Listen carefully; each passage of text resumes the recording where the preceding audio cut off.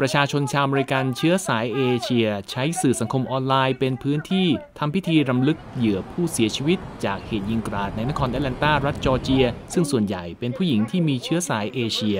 ผู้ที่ออกมาแสดงความคิดเห็นผ่านแพลตฟอร์มออนไลน์ต่างๆ แสดงอารมณ์ร่วมหลากหลาย ตั้งแต่อารมณ์โกรธ ไปจนถึงความเศร้า ความกลัว และอาการหมดหวังในข้อความของตน ที่สะท้อนให้เห็นถึงความรู้สึกที่เหนื่อยล้ายิ่งขึ้นไปอีก หลังจากต้องรับมือกับผลกระทบหนักของการระบาดของโควิด -19 ซึ่งส่งผลให้มีเหตุโจมตีเชื้อชาติในรูปแบบต่างๆ ตลอดปีที่ผ่านมาครับ หลายคนแสดงความโกรธต่อเหตุสลดที่เกิดขึ้น เพราะว่าโรเบิร์ตแอรอนลอง ผู้ต้องสงสัยวัย 21 ปีนั้น ไม่ถูกดำเนินคดีในข้อหาก่ออาชญากรรมที่เกิดจากความเกลียดชัง หรือ hate crime ทันทีที่ถูกจับกลุ่มตัว โดยเจ้าหน้าที่กล่าวว่า ผู้ต้องหาบอกกับเจ้าหน้าที่ตำรวจว่า การกราดยิงนั้นไม่ได้เกิดจากเรื่องเชื้อชาติ และอ้างว่าที่มุ่งโจมตีสถานบริการสปา เป็นเพราะอาการเสพติดการมีเพศสัมพันธ์ เดิมทีนายโรเบิร์ตแอรอนลองผู้ต้องหาวัย 21 ปี มีกำหนดการขึ้นศาลในช่วงบ่าย ของวันพฤหัสบดีที่เขตปกครองเชโรคีรัฐจอร์เจีย อย่างไรก็ตาม เจ้าหน้าที่ศาลเขตปกครองดังกล่าว กล่าวกับหนังสือพิมพ์ The Washington Post ว่า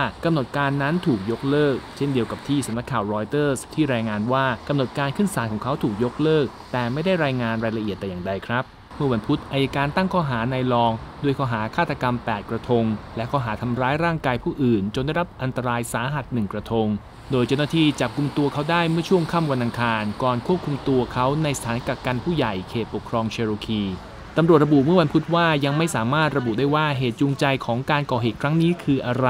โดยผู้เสียชีวิต ประกอบด้วยหญิงเชื้อสายเอเชีย 6 คน หญิงผิวขาว 1 คน และชายผิวขาว 1 คน และมีผู้ได้รับบาดเจ็บ และเข้ารับการรักษาในโรงพยาบาล 1 คน ทางการระบุว่านายลองบอกกับตำรวจว่าเขาไม่ได้มีแรงจูงใจด้านเชื้อชาติขณะก่อเหตุ แต่เขามีปัญหาเสพติดการมีเพศสัมพันธ์ครับคดีนี้ทำให้เกิดกระแสความกลัวในชุมชนชาวเอเชียอเมริกันที่เผชิญกับการถูกโจมตี นับตั้งแต่เชื้อโคโรนาไวรัส เริ่มระบาดเมื่อหนึ่งปีที่แล้ว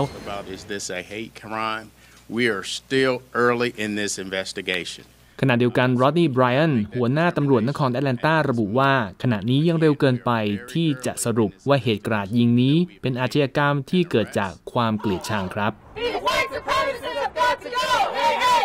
ho, ho. ผมนพรัตน์ชัยเฉลิมมงคล ผู้รายงานครับ